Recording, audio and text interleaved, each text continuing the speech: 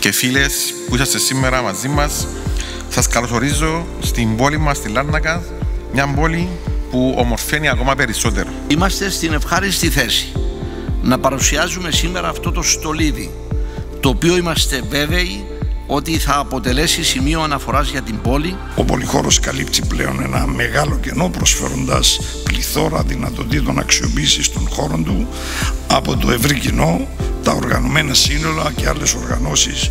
Η συνύπαρξη του Οργανισμού Νεολαίας Κύπρου στο κτίριο με άλλους οργανισμούς και φορείς της πόλης που ασχολούνται με νέους θα μας δώσει αναμφίβολα την ευκαιρία για περαιτέρω ανάπτυξη μεταξύ μας συνεργειών και κοινών δράσεων προς όφελος των νέων της Λάρνακας. Σήμερα λοιπόν εγκαινιάζουμε ακόμα ένα στολίδι για την πόλη μας και σήμερα παραδίδουμε και επίσημα τον πολυδύναμο πολυχώρο κοινωνικής πρόνοιας και απασχόλησης σε αυτούς που τους ανήκει, στον κόσμο της Λάρνακας και του επισκέπτες της.